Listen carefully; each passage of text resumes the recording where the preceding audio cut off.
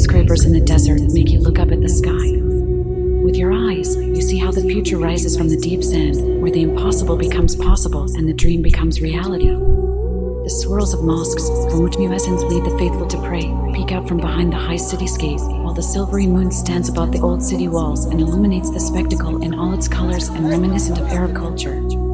Welcome to the United Arab Emirates, country that emerged right out of the deep desert.